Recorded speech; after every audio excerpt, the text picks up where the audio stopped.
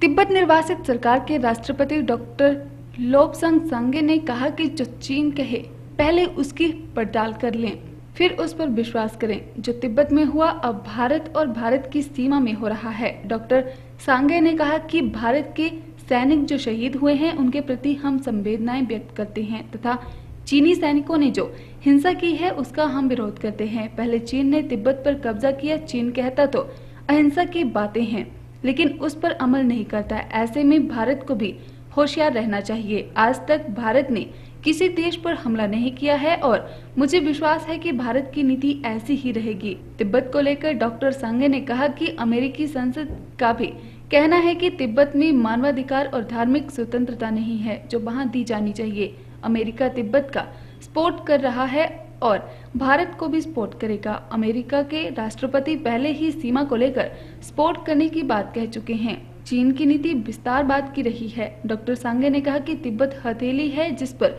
चीन ने कब्जा किया है। इसके बाद अब चीन पाँच उंगलियों यानी लद्दाख नेपाल भूटान सिक्किम और अरुणाचल के पीछे लगा हुआ है। इन सब के बीच हिमाचल भी है। 3,488 किलोमीटर की सीमा पहले भारत और तिब्बत के बीच में थी। आज चीन उस सीमा में भी घुसपैठ कर रहा है और हिमाचल भी उस सीमा में है। डॉक्टर सांगे ने कहा कि पाँच उंगली की बात कही। उनमें हिमाचल भी है तथा हिमाचल को भी सतर्क रहना चाहिए, क्योंकि चीन ऐसा करता ही रहेगा।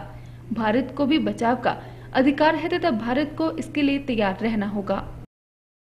देखिए, जितने भी हमारे भारतीय जवान का शहीद हो गया, हम तो उन फैमिलीज़ को कंडोलेंसेस कहते हैं।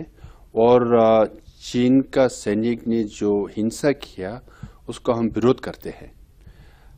एक बात है कि अब उनको देखो, हमारा, हमें तिब्बती लोगों को भी पहले मीठी मीठी बात करके ना तो हमारा देश कब्जा कर लिया। कहते तो यही है, हम अहिंसा को मानते हैं, मगर करते ही हिंसा। तो भारत को होशियार से रहना चाहिए, जो चीन कहेंगे, उसको जाँच करना चाहिए। उसके बाद सिर्फ़ विश्वास करना चाहिए। क्योंकि जो तिब्बत में हुआ, अब भारत और भारत की सीमा में हो रहा है।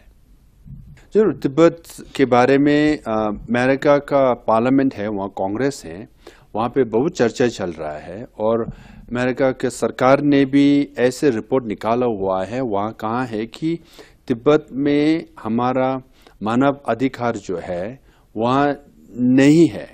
उनको देना चाहिए। हमारा रिलीजियस फ्रीडम जो है उनको भी देना चाहिए।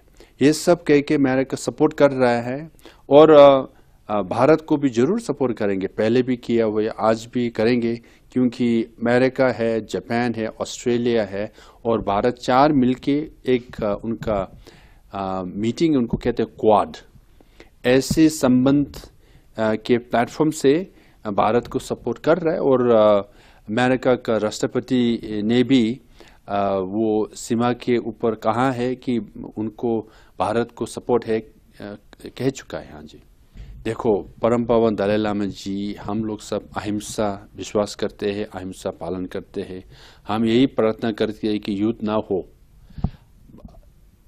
बट ये हकीकत है चीन का जो सोच है विस्तारवादी का नीति है उनका देश जो है अभी पहले तिब्बत कब्जा कर लिया शिंचंग वो मंगोलिया, मंचूरिया कब्जा कर लिया। उसके बाद आप, हम कहते हैं तिब्बत एक हथेली है और पाँच उंगली के पीछे लगना चाहिए। तिब्बत कब्जा करने के बाद लद्दाख है, नेपाल है, भूटान है, सिक्किम है, अरुणाचल ये पाँच उंगली के पीछे लगे हुए हैं। और इसके बीच में हिमाचल भी है, क्योंकि तीन हज़ार चार सौ अट्ठासी किलोमीटर का जो सीमा है पहले भारत और तिब्बत के बीच में सीमा हुआ, हुआ है, है था पहले। आजकल अब जो वो सीमा में घुसपैठ कर रहा है हिमाचल भी उसके बीच में है पाँच उंगली के बीच में हिमाचल भी है वो हिमाचल को भी होशियार रहना चाहिए वो तो ऐसे करते रहेंगे। तो भारत को भी अपने राइट टू डिफेंड अपने भारत देश को सुरक्षा रखने के लिए जो डिफेंड करना है, वो तो करना चाहिए। हाँ जी।